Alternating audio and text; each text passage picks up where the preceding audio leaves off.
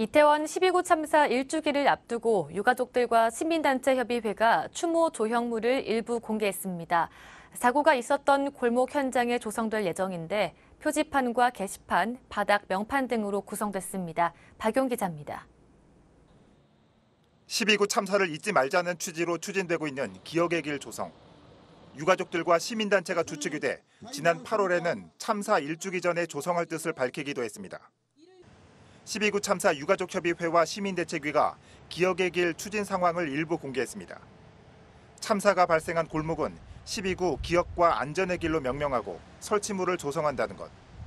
미술가 권은비 작가가 참여해 12구 기억과 안전의 길 표지판과 게시판, 바닥 명판 등이 설치됩니다.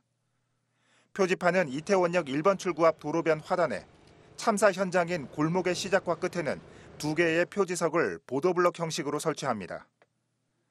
또한 LED 조명 등이 내장된 안내판을 통해 시민들의 추모 메시지와 사진, 예술 작품 등도 전시됩니다.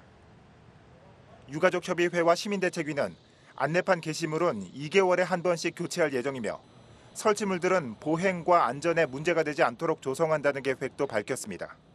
딜라이브 뉴스 박용입니다.